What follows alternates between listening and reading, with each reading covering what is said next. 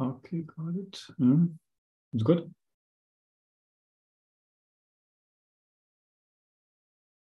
All right, welcome back everyone to another Quantum Matter seminar. It's my pleasure today to introduce Denis Golez from the Josef Stefan Institute in Ljubljana.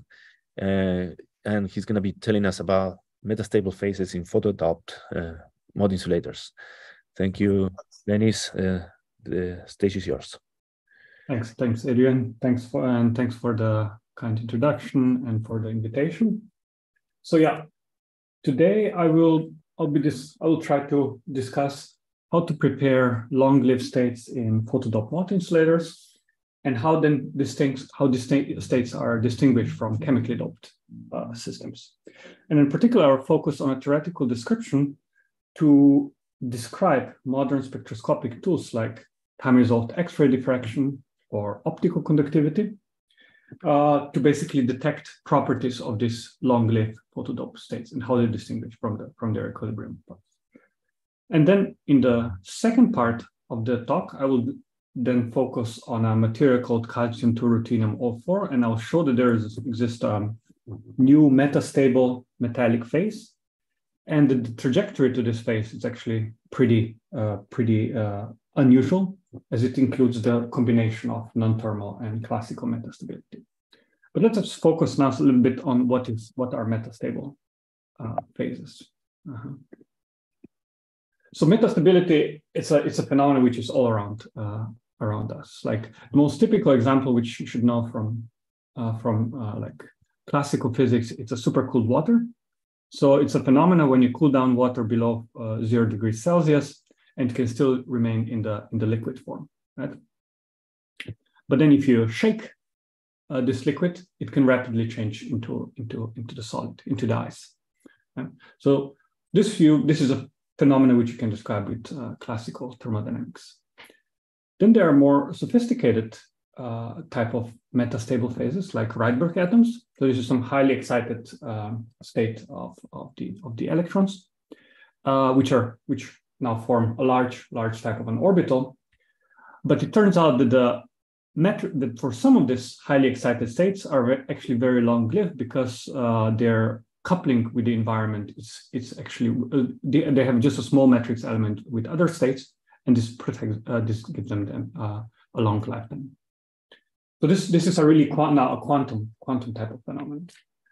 And final type of metastable phase which I would like to expose are driven metastable phases, so where we are using some external stimulus to, uh, to, to drive the system. The most famous probably examples are Bose-Einstein condensation in exciton polariton. You're preparing exciton in some quantum wells, as here. You're using an external laser pulse to excite the system. You're constantly pumping up in the energy, and then you can basically stabilize for these excited states macroscopic population of, of exciton polariton. So there's a bunch of uh, metastable uh, phases, and today I will mainly focus on those two classes. So the one which you can understand from standard thermodynamic point of view and pre-thermal state, which are coming from some kind of almost conserved quantities, small coupling with other degrees of freedom. So let's see why it's useful to discuss classical, like why, uh, what, how in classical um, uh, thermodynamic sense, we expect metastability. So imagine that you're close to some kind of a first order phase transition. This means that in your free energy landscape, you will have a global minima and, and a local one. And now, as in the water, you can you can adiabatically shift one from one to another, or you could imagine that if you're in its proximity, maybe you can use some rapid type of a photoexcitation, which I sketched here, so you go from equilibrium to some highly excited state, and then some Landau-Ginzburg type of evolution will just drive you to the to the metastable phase. That's one expectation where we expect trap states to appear. The second setup which I have, which is more um, more of a quantum phenomena, is is that we can have a pre-thermal phase in a in because there are a bunch of conserved quantities in in my evolution. So if I mark my conserved quantity as qi, they commute or almost commute with the Hamiltonian, which means they will be conserved, and this leads to some constraint uh, for the evolution of the system. Yeah? There have been numerous examples in the in the literature about this kind of a pre-thermalized states. Like here, I'm exposing two of them. For instance, a recent study on a Floquet-driven system for, for spin chains. So on the x-axis is the Floquet cycle. On the y-axis is energy density, normalized from zero to one. One means basically infinite temperature state, zero means the ground state. Um, and obviously expect that if you pump energy in the closed system, system will heat up to, to the infinite temperatures. But what you can see that if there's some, uh, uh, if you have some kind of a almost conserved quantity in the system, this approach to the to the to the actual thermal state can be extremely long. Like there's the x-axis here is exponential, so I can live in a pre-thermal state for a very very long uh, time. So this is a Floquet case, but the one which I'll be really discussing today, it's more of a Mott type of a pre-thermal state, and it's coming like the motivation. One of the motivation comes from these early experiments on cold atoms, where they were just shaking the system. Um, their uh, cold atom type of experiment is um, uh, is basically mimicking a Hubbard model, and they were measuring what is the lifetime of the photo uh, of these photoexcited charge carriers as a function of the interaction strength. And what they observed essentially the lifetime scales exponentially with the interaction strength, which means that if the interaction strength is very large, we expect that we're going to have some very long-lived long-lived charge, charge carriers. But obviously, its lifetime depends now how strongly I'm breaking those, uh, uh, how strongly I'm breaking the this conservation of, of some uh, conserved quantities. Now, as I said, most of the time I'll be focusing on the uh, on the Mott insulators. So let's see what what we actually expect, like pictor on a pictorial level for the Mott insulator. Like if I'm in equilibrium and I plot the spectral function, the lower Hubbard band is completely filled, the upper one is completely empty or in real space because of the strong, very strong Coulomb interaction of having one particle per site. This is just the Mott idea, uh, a pictorial view of the Mott insulator, right? But now I'm photo-exciting system recently between the lower and the upper Hubbard band, which creates charge carriers the type of excitations. And I'll call them doublons if they're in the upper Hubbard band or holons in the lower Hubbard band. So either doubly occupied or singly occupied in the, in the real space. And the point, the, the main idea when these objects are stable is when I'm, my Coulomb interaction is the largest energy scale in, uh, in the system. So that I would, yeah. So if the Coulomb interaction, the largest energy scales in my system, I can make some kind of Schrieffer-Wolff type of a transformation to, uh, to, to construct like almost conserved quantities, which in this case is just the number of doublons commute with Hamiltonian and number of holons commute with Hamiltonian. And now there are some correction terms. And these correction terms are now just saying to me that I can have many excitations of low energy bosonic degrees of freedom. We are marking either magnon super exchange T square over U, or because some coupling with electron phonon type of interactions, which gonna uh, break this, um, uh, this conservation law.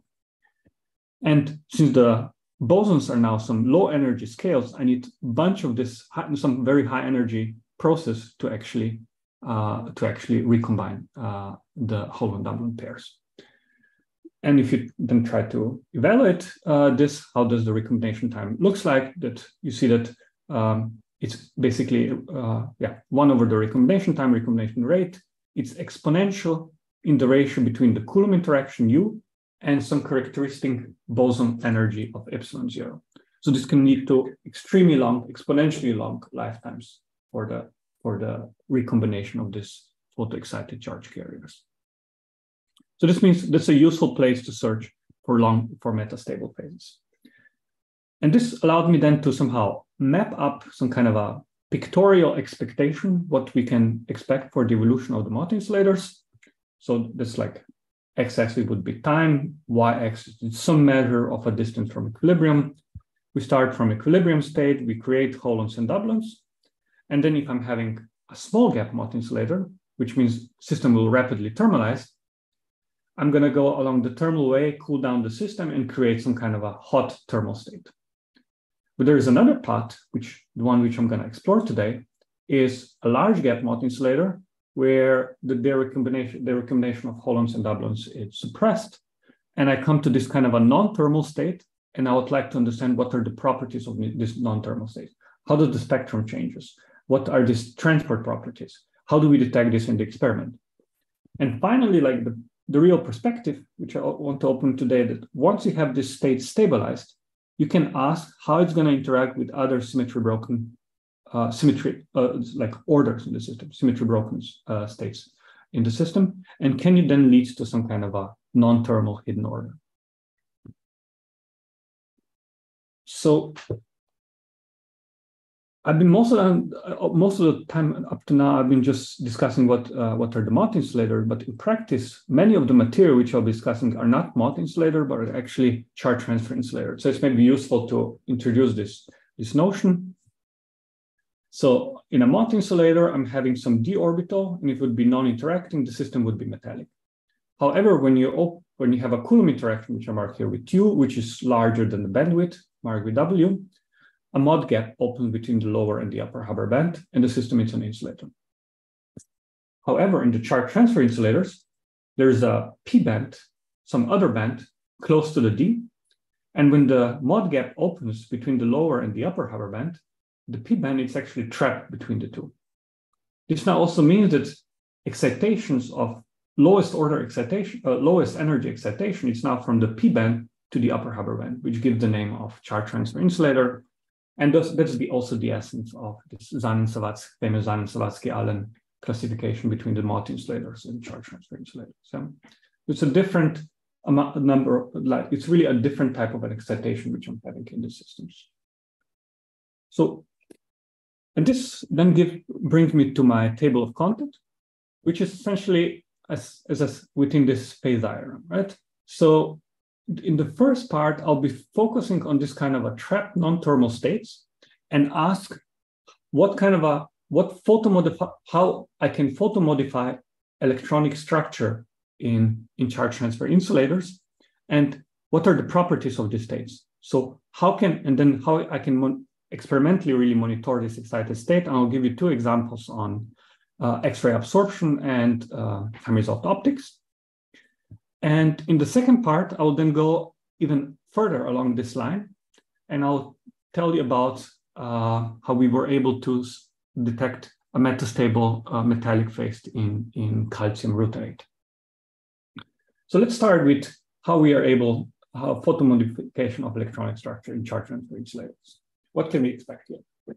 Well, there, first we need to ask what kind of experiments are there to actually measure this type of, type of properties, right? And the first one which I want to expose is the optical conductivity. So we would like to check properties of the excited states.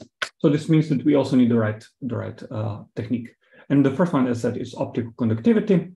It's a rather simple probe. You're checking what is the absorption or transmission of the light. And these time resolved techniques are typically working this pump probe type of a setup where you first excite system with a strong pump, and then you come with some delay. At some delay, we come with a probe pulse, and you're checking. And since we are optical conductivity checking transitions, probability for some certain transitions, now with the pump, we're gonna check how this how this uh, energy of these transitions uh, change or their intensity. The second uh, techniques which is also sensitive to the unoccupied part of the spectrum, which I'll talk today, is X-ray absorption. So what's the idea here? Well, idea is that you shine in into your material with some very high energy X-ray uh, pulse. So this, and you excite ele electron from uh, some core levels to the unoccupied states. And this energy difference is of the order of kilo electron volts. So it's a huge energy scale in comparison to typical energy scale, which we are discussing in solid state. Okay? And then what X-ray absorption is essentially measuring is how much energy, how much, how, what is the probability for such a for such a uh, excitation. But the real advantage which is has is that it is local, and you can make it element specific, which means it really you can say this is the dynamic which is happening on my d orbital, this is the dynamic which is happening on my p orbital. So I have much more information than in typical, like in, for instance, in the optical conductivity. And this technique, it's now really like time resolve uh, X-ray absorption it's really popping up uh, a lot because of the development of many. We get now many free electron uh, free electron lasers, and it's also interesting because of connection with the other technique, which is the RIXS, so resonant inelastic X-ray scattering, as it is actually the first step in the in the RIXS process. So those are will be the two experimental techniques which I'll be mainly dealing today. And the first motivation for our work actually came from this nice experiments from the Mitrano group. Um, they took cuprates, like underdoped cuprates, like LBCO, 10% doped, and what they observed, and then they photoexcited. Yeah? And once again, they use X-ray absorption spectroscopy, and they observed an interesting phenomenon. So there is an intensity of the X-ray absorption as a function of the en uh, energy. The black one is the equilibrium one, the red one is the transient one.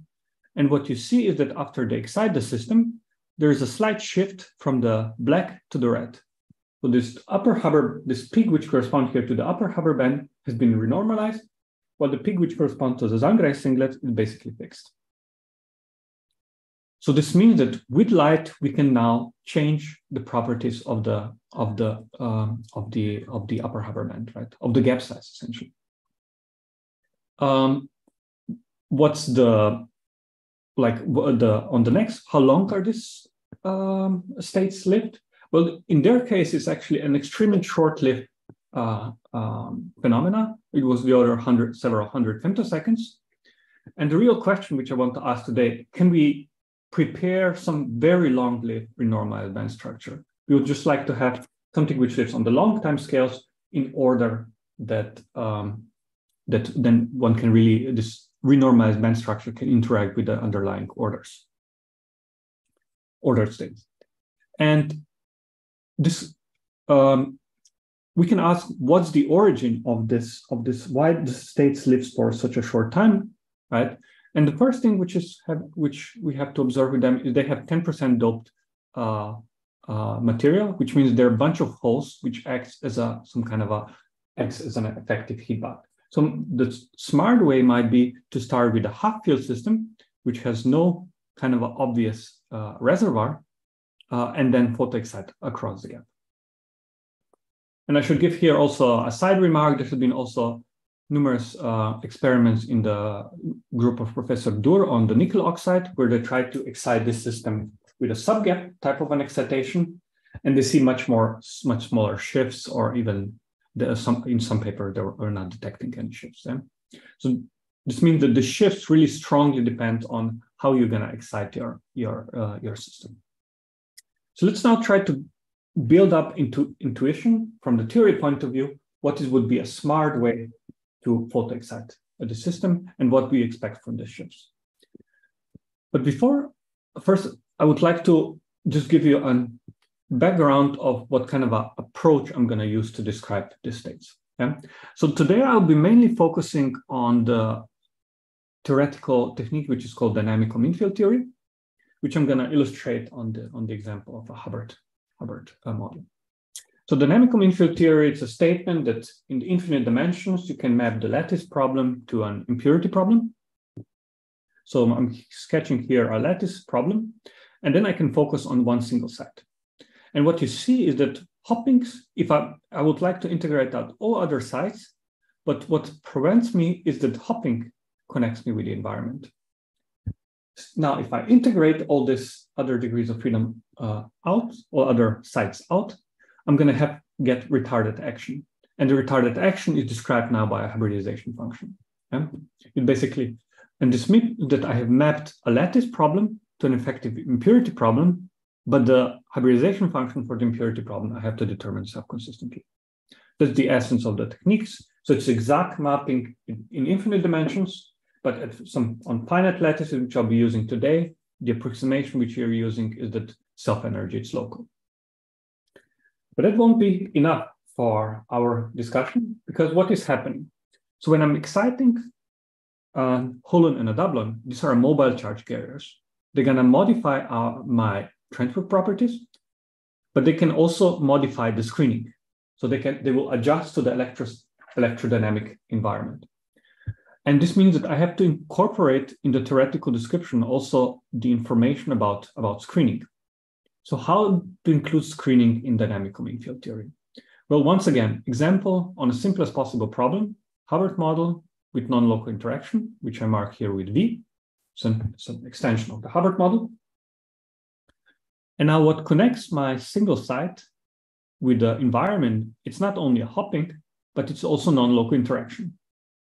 When I integrate out all other uh, lattice sites, what I obtain, it's an impurity problem, which has a self-consistency condition on the single particle and on two particle level.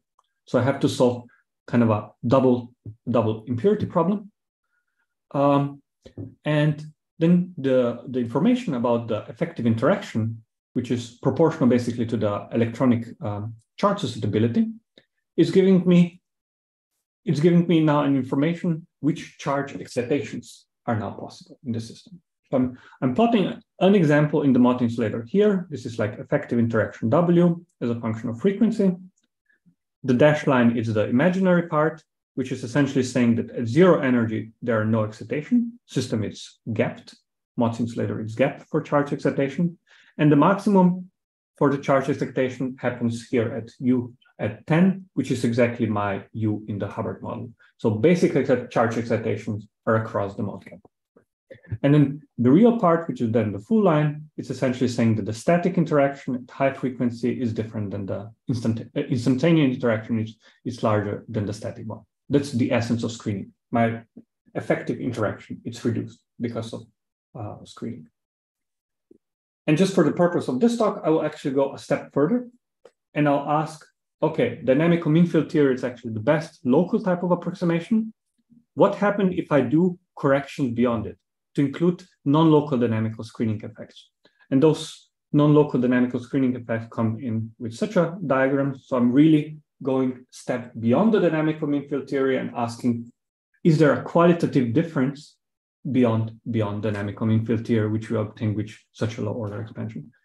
In physical terms, this means it's non it's uh, dynamical screening important for the description of photoexcited charge carrier.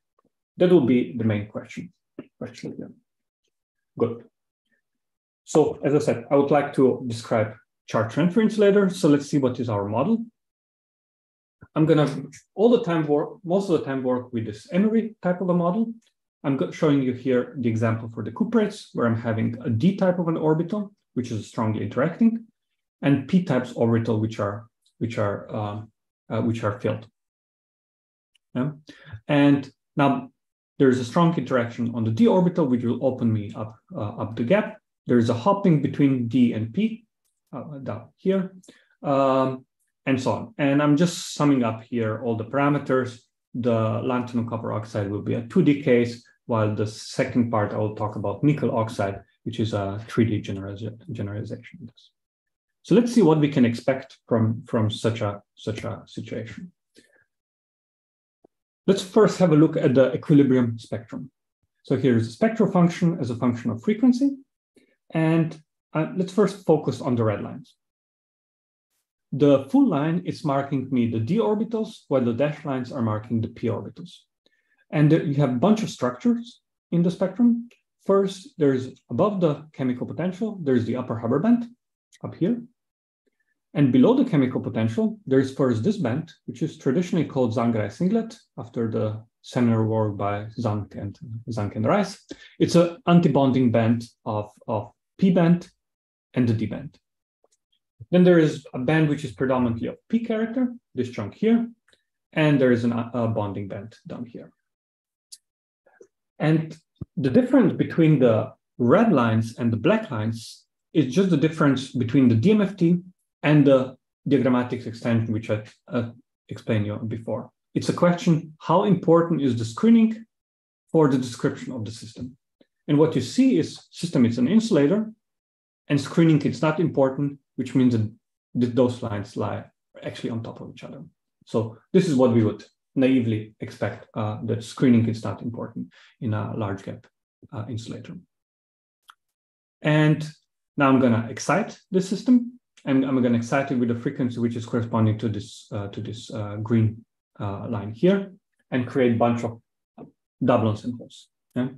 And I, I forgot to ask if you have any question, just don't just interrupt me, right? No problem.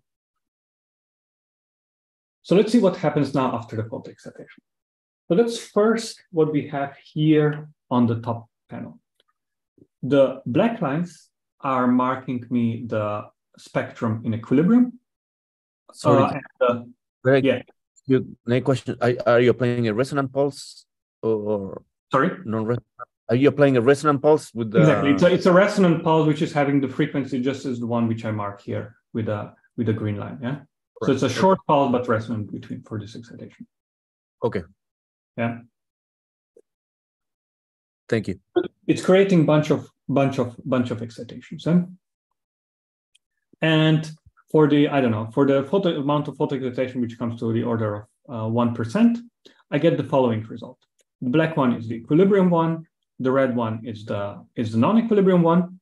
And what you can see is there is a small renormalization from the red to the black, uh, from the black to the red, right? Which is slightly shrinking me the gap. What's the origin of this? Well, it's an electrostatic effect. Since I'm, I'm photoexciting charge carrier from the P to the D, the, the upper Hubbard band gets more negatively populated. The lower, uh, all the valence bands get positively populated. There is a charge transfer from P to the D. And this will create, because there is a Coulomb interaction between the D and the P, this will create uh, electrostatic attraction. And this electrostatic attraction then renormalize the uh, mid the band structure. And in terms of like uh, just a diagram, this corresponds to a Hartree type of a diagram. This is why these shifts are called Hartree shift. And you can then write just analytical formula for it, that how large is the shift. It's essentially proportional with the amount of the photodoping and the Coulomb interaction between the D and the P band. Good. So that's the first effect. But then if you look just down here and you ask, okay, what now happens if I go include non-local screening? you see that the effect is much more dramatic. We're going from black to red, and the gap, band gap renormalization it's, it's now much larger. And you, I should warn you that this energy scale is huge. This is of the order of half of electron volt. Yeah? Where we are having a large renormalization of the, of the band structure. But on top of it, you can see that these bands are also now strongly broadened up. Yeah? This means that we have strongly increased also the scattering with all this plasmonic type of type of excitation. So photo excitation, then this means induced um, also strong lifetime effects. We're having renormalization of the band structure and strong lifetime effects. And the question which I'll be posing from now on, how can we detect this? How can we now experimentally measure this kind of a this kind of a photo-induced changes? The first one is the, the most simple one, is the optical conductivity. So how I evaluate this optical conductivity is essentially I simulate uh, the system and then I add, I simulate an additional small probe pulse explicitly. And it's really advantageous because in the diagram, this diagrammatic techniques, which I'm uh, here using, this explicit simulation of the additional probe pulse and measuring the induced current includes all the vertex corrections. So that's much more useful than using some kind of a bubble type of type of approximation. But then if we look at the result, like optical conductivity as a function of energy, the black one is the equilibrium, the red one is the non-equilibrium uh, one. And you can see once again, there is a strong renormalization of the band gap and broadening of the, of the optical conductivity. On the right-hand side, I plot the difference between the equilibrium and the non-equilibrium one. And here I'm comparing it with the experiment which was done on the lanthanum copper oxide. So the, the theory was done for the lanthanum copper oxide as well as the experiments. This was the experiment done in the group of uh, Daniele, Daniele Fausti. And you can see both of them has this characteristic feature up-down, up-down uh, type of a feature, which means there is a red uh, red shift in the in the and the band gap, uh, just just the red band. Uh, the, so the uh, the gap gets smaller. Yeah? And for this, you need to obviously excite across, across the gap. And here, once again, I want to just point out there is actually a pretty, like if you just measure those distances, like how large are the ship, it's a very nice agreement between the theory and the experiments. and this would never be the case if we only consider this kind of a static Hartree type of a shift, but you really need to include the dynamical, dynamical screening. That your interaction is really screened down by photodoped charge carriers. Good, that's optics. Now let's go to the case which which uh, which is uh, even more interesting for me because this X-ray absorption, I said, it gives you information about exactly about one particular orbital. So I can measure how much is the gap change just because of the shifts on the d orbital. So if, as I have it down here, like I'm making an X-ray type of an excitation, and because of the selection rules, delta J has the plus minus one, delta M plus minus one zero. I can excite either from core p band, which are now splitted up because of the strong spin orbit coupling into three half and one half. And then I can have two types of excitation, which are traditionally called L3 and L2 edge in the in the for uh, in the X-ray. And as I pointed out before, it's the energy scale for the for the photo excitation. It's actually huge. Uh, like energy scale for this X-ray excitation, it's huge. These are kilo electron volts, which means that the measurement for the X-ray uh, it can be actually decoupled from the low energy uh, dynamics in the system. This means that I can evaluate X-ray spectrum independently of my evolution in the low energy space. How is then this done in practice? Well, dynamical mean field, we perform a full dynamical mean field theory type of a calculation, as I explained you earlier. And then we, this means that this defined me a low energy impurity problem, as I mark here. So there's a DP impurity coupled with a bond. And now I extend this impurity problem with a core state, core uh, level. And those that one is marked with epsilon c. It has some energy of epsilon c. And what this is actually a very then a very non-perturbative effect because there is a strong Coulomb interaction between the core hole and the d electron, which you have to take into account because there is a formation of an exciton between the core hole and the electron in the in the conducting band. And since there's a very large, large energy scale, we can approximate the X-ray uh, excitation in the rotating wave type of, of, approximation. I'm having a dipolar excitation from core to D, but in a rotated rotated frame. So the the energies are just shifted from the of the incoming X-ray with respect to the to the to the core level. And this, there there we are using certain a certain envelope which is marked with SOT. So this this means that X-ray evaluation is now really a post-processing type of description. So what, uh, what do we get uh, if we try to evaluate this? So here it's the uh, first result, like X-ray absorption as a function of frequency. In equilibrium is the black line. It has basically two main features. The first is this kind of a large excitonic peak, which is really an exciton between the core hole and the valence uh, uh, conducting ele electrons in the conducting band on the d orbital only. And there is this additional peak here, which is a continuum state. So these two particles are now decoupled from each other. And now I can ask what happens if I'm further photoexciting the system. We are going in this from red to a violet. And on the right-hand side, I'm then plotting how does the X, this excitonic peak changes after the photoexcitation. And what you see, it always has this kind of a down up down structure, which is saying my X-ray, uh, my exciton is moving to the lower energy.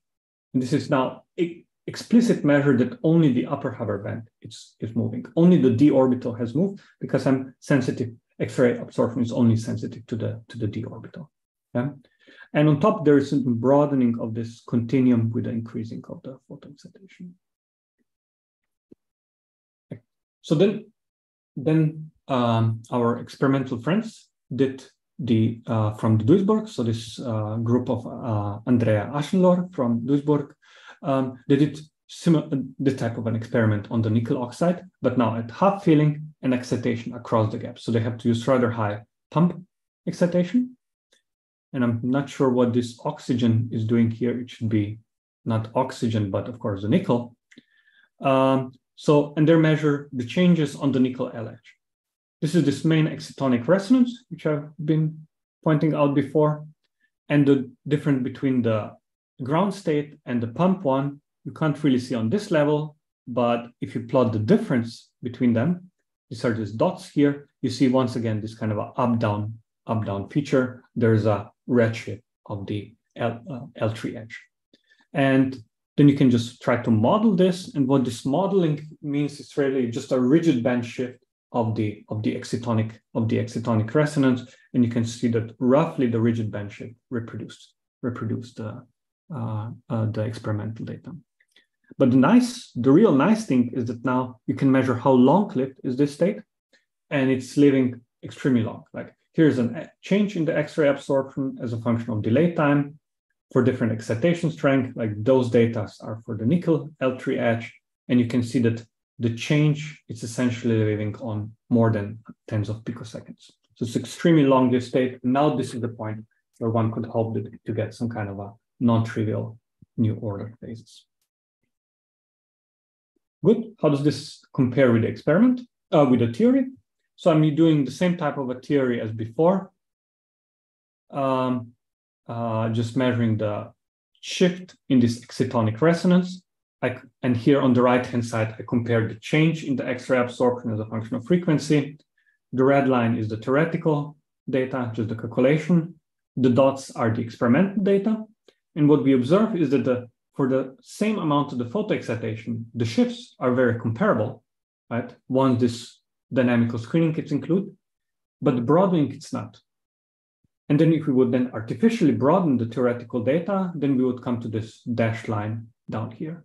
And this means that there has to be some additional source of the broadenings of the lifetime effects, maybe some coupling with uh, uh, bosonic modes in the in the experiment, which we want still need to take into account to get a more a more uh, precise agreement. But nevertheless, we were extremely happy that we understand now that the real renormalization of the upper Hubbard band, it's one can really point it out just to the dynamics of the of the d orbital.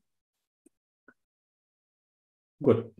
So that's the message of the first part, where basically I was saying that after the photo excitation, one can dynamically change the screening.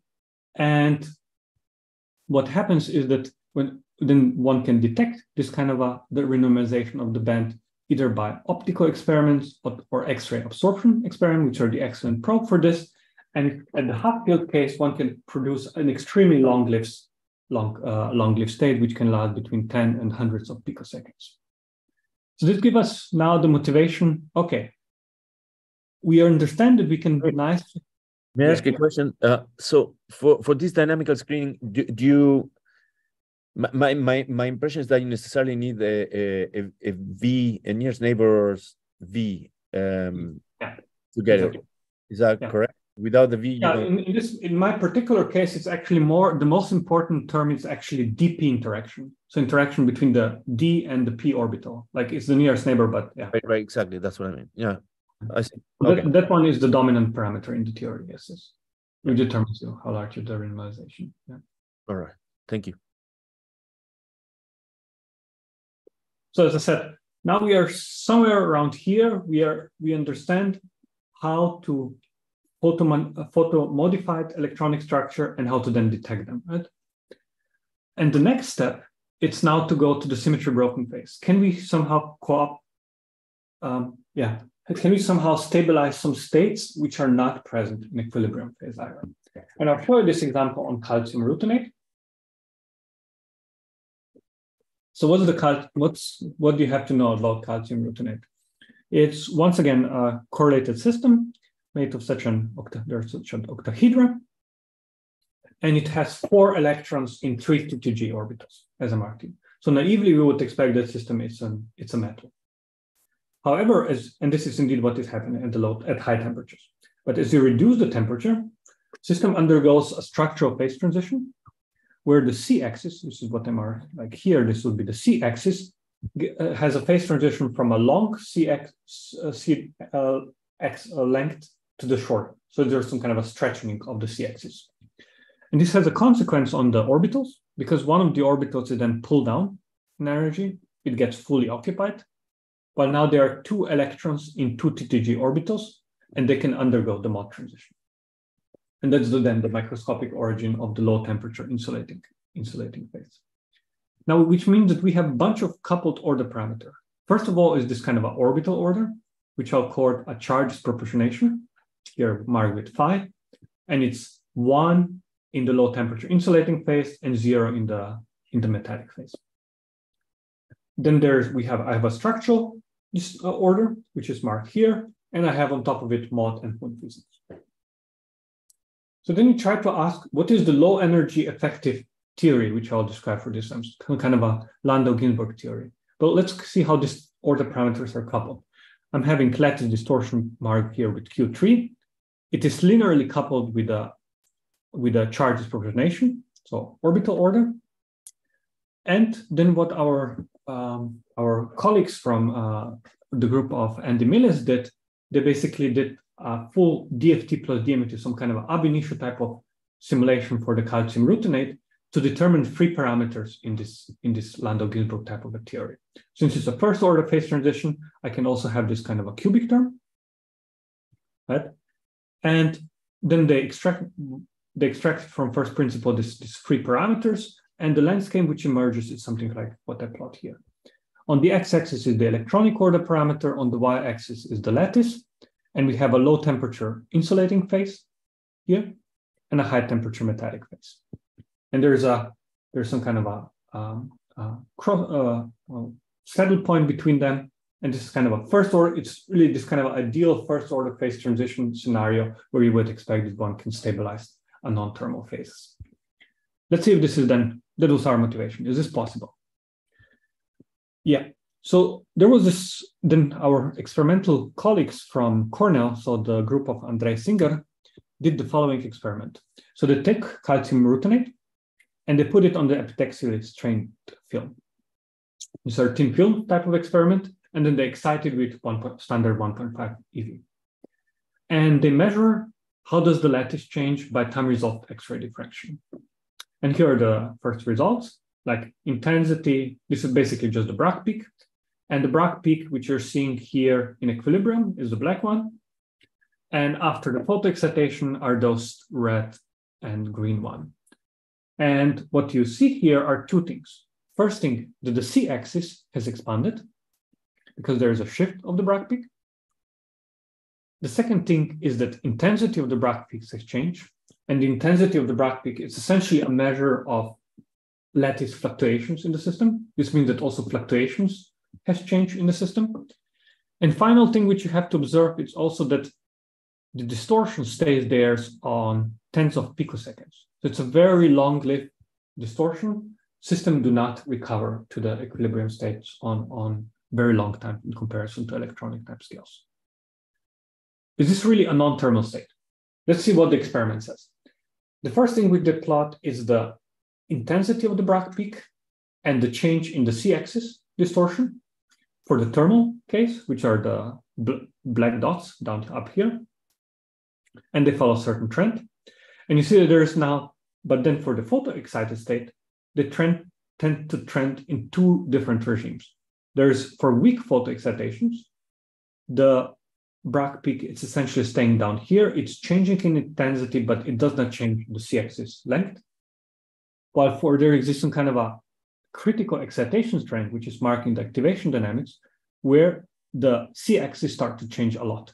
Right? It's comparable with the high temperature state. However, the intensity of the Bragg peak is completely different. This means that we have stretched the system. However, it is it has different fluctuations of the of the of the lattice. So this is really now pointing uh, has a strong signature of a, of a very non of a non-thermal state. Yeah? Can we get more information out of it? So they also did an optical type of experiment, like opt like high energy optic 1.5 EV change it's marked here with red as a function of time. And you see that optics rapidly rises up on their within their time resolution and it stays there distorted on hundreds of picoseconds. Same as the X-ray intensity, it rises up on the time scale which the signal needs to propagate across the sample. And then once again, it just stays in the distorted, distorted uh, situation. And the final important thing is is the system still an insulator or is it metallic? And this is checked by measuring the terahertz optical response. You're measuring, measuring a Drude, is there a Drude response? This is this blue line here. And indeed, what you see as a function of time, there is a slow rise up of the Drude, of the Drude peak happening on several tens of the picoseconds. And it's also trapped on hundreds of picosecond timescales. So system starts to get metallic. There seems to be some kind of a non-thermal metallic phase happening in the system. So what we can ex explain about this um, uh, from the theory point of view. So um, what I did was a dynamic mean field theory type of calculation for the for the these three T2G orbitals on the Bethe lattice for the for simplicity. So I have to treat one has to treat full Slater-Kanamori type of type of interaction, and on top of it, I'm having electron lattice interaction. Lattice is marked here with two Q three and phi is the electronic order. And I'll treat lattice on the classical level just because it's it's um, uh, the uh, the lattice uh, dynamics. It's uh, the lattice energies are much smaller than the than the um, the electronic energy scales. And what you in equilibrium, what you see already on the on the atomic level though, is that dxy orbitals get pushed down because electron folding interaction, while the other two are degenerate. And then if you plot the spectrum as a function of energy, you see that this is the red line, which is completely filled, which is just the dxy uh, uh, orbital. There's a blue line, which is opening up the, the Mott gap up here. Um, system is an insulator with a fully filled dxy orbital. And now I'm exciting once again recently between the lower and the upper Hubbard band. I'm gonna try to wrap up in a, in a minute or two. Yeah. Um, so then you photo excite the system and ask what is the response of the of the of the lattice. This is Q3 as a function of time for different type of photo excitation. The blue one is the equilibrium excitation. The green one is the like is a very small excitation, so you're just oscillating around equilibrium. While if you excite the system more strongly, there is a strong deviation from the from the equilibrium position of the lattice. And then this has obviously effect on the electronic order. Or then you can plot electronic order parameter as a function of time. See that if you excite it weakly, it just oscillates around equilibrium. But for strong excitation, what happens is that there is a drift toward the metallic phase. I, or, I remember that the phi zero is the really would be the metallic phase. So this drift is pointing out that the system is approaching to some kind of a non-thermal, non-thermal metallic phase. And we can use the slope of this drift. Obviously, now we are limited by time propagation, but one can use the slope of this drift to see what is the tendency of the system for approaching this metallic phase. Um, so I plot this drift as a function. Yeah. Uh, how do you introduce the coupling uh, between the the the electric field and the and the lattice? Yeah. So it's it's basically um, just a, electric field and the lattice. No, the, there is no coupling between the electric field and the lattice. I'm exciting electrons across the gap, standard pious and pious, all right. dipolar type of excitation, actually. Yes. Yeah. And there is a, now a charge transfer between D and P, which is modifying my charge disproportionation order parameter. And this creates a force on the lattice. I see, I see, I see. Uh, it's, no. a, it's, a, it's a charge transfer force on then on uh, created on the lattice. Yeah. And the dynamics of the lattice is classical. It's classical. This is a purely classical uh, dynamics. Yeah. All right. Yeah. Thank you. Good. So I'm having this long time drift, and what we observed is first that there's a big difference between the bulk and the thin films. Uh, we can go into details of it, of it. But what is now interesting here is that you try to you can try to put different trajectories into the Landau-Ginzburg type of a phase diagram. And you can see that for weak excitation, which is this red one, you stay within the insulating phase. While for strong excitation, there's this green line, you have some very strange slow wiggles happening. That's the last thing which I want to point out. What is actually happening here? After the photoexcitation, your Holon and doublon number is conserved quantity. And it can be only, this means that it gives you constraint on the dynamics. There wouldn't be any electron lattice couplings. This would be just, a, they would basically frozen. However, because lattice is now able to move, it is slightly broken this conservation law, which means that now in this sense, electrons are now basically frozen up And all the dynamics is governed by this lattice deviation. Yeah. And these are the strange wiggles in terms of the Landau Ginzburg, which are following completely different dynamics, which you would expect from if you would be solving time-dependent Landau Ginzburg type of theory, just because there are microscopic constraints coming from the conservation of doublon and holon up here. So this means we have kind of a mix of a classical and a pre-thermal type of a metastability. That's what I try to then sketch in this kind of a diagram. We are photo exciting, but we are not really following the standard Landau Ginzburg type of a dynamics, but conserved quantities actually deviates us in the other way and creating the lattice is now governing uh, our dynamics. Good. With this, I conclude. So in the first part, I was basically showing you about photo manipulation of electronic structure and how you can use X-ray absorption to, uh, to detect it. In, and give you an example of nickel oxide. And the second part, I was talking about metastable phase in calcium ruthenate and uh, stabilization of the metallic phase. Just uh, thanks to the collaborators, X-ray absorption were done uh, in the group of Andrea Eschenlohr and Uwe Bovensiepen, and the theory was done together with Philip and Martin. And this calcium ruthenate uh, metastable phase was done in the group of Andrei Singer together, and the theory was done together with Andrei uh, Andy Millis. And this, I thank you for your attention, and I'm open to all of your questions. All right. Actually, you have a live audience, so we thank you for a very nice talk.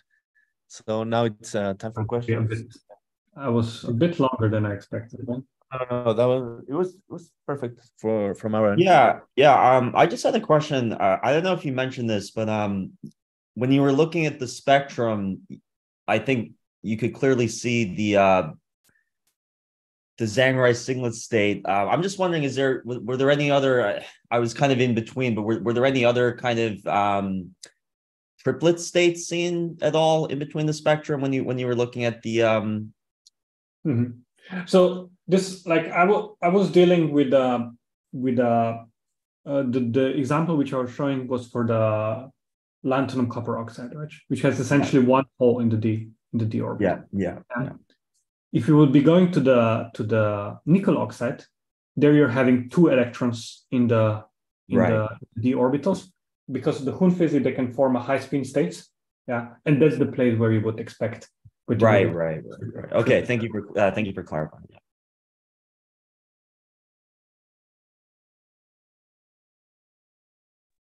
Hey Denis, it's good to see you.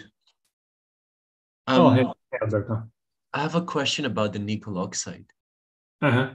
That three point was it three point seven EV pump? Something of this, yeah. So that's supposed to go across gap, right? Four point seven. So it's it's even higher excitation than the optical gap. How do we know what character those states have? Sorry. So what what type of resonance excitations are we doing? Do we know, or is it just from are we targeting well, some orbitals? Are we? No, I think I think this was just a convenience. So they just had this type of a setup there. Right. Um, but like like I can I can answer you with a like zeroth order theorist point sure. of view. yeah. Zeroth order theorist point of view is that you have to excite across the gap. Yeah. There's going to be definitely some dissipation channels, which going to yeah. bring the uh, charge carriers to the edge of the gap and there there is a bottleneck. Yeah? Okay. So maybe the, the precise that. Yeah, yeah, the, like that. Yeah. Okay. Of the of the gap does not uh, of the excitation does not really matter, right? Okay. That would be zeroth order. But I, then mm-hmm. this idea from Mitrano's, from Matteo's paper that they renormalize U, is mm-hmm. that really the Coulomb U or just just affecting all the um, screening in the system without really uh, look that's what I I try to be implicit there, right? I have okay. my own thoughts about it, yeah, yeah. But essentially, I think, in my point of view, it's like this: when you're in the multi-band situation, uh-huh. as we are always are, they were considering basically a single band type of idealization. Yeah? yeah. When you're in the multi-band case, I'm first of all making a charge transfer excitation. Right. Surely, I'm gonna get those Hartree shift. Right. But it's a first order type of thing. The second order type of of contribution are those dynamical screening, which is essentially reducing Q. That's what Mitrano Right. is saying that I'm effectively reducing it. Sure. I'm saying we have both of them. It is very hard to separate them. Agreed. Yeah. And yeah, we just now have we just have two things which are cooperating, which is nice. Yeah. Uh, but I think it's a very interesting question, like conceptual question, how we could separate the two. Right. I don't Right. have an answer to this question. I don't even imagine how this would be done. Like We have some ideas actually, and I think RIXS plays a very important role uh, in this. RIXS, I agree. RIXS is an option. RIXS Yeah. is an option. I agree. I agree. So that if you will be able to follow plasmons and plasmon renorm- uh, after the photo excitation. I agree. That Yeah, I think XAS doesn't give you enough information. I think you really Exactly. need to look I- at I all this agree. I agree with this. Yeah. Yeah. Yeah. RIXS would be an option. Yeah. That's a good. That's a good point. Yeah. Thank you, Denis. Sure. Do we have any other questions from the audience? Please feel to unmute yourself. Yeah. All right. If not, we thank uh, Denis one more time. Thanks. Thank you, Denis. I really appreciate it. We stay in Sure. touch. Great talk. Bye.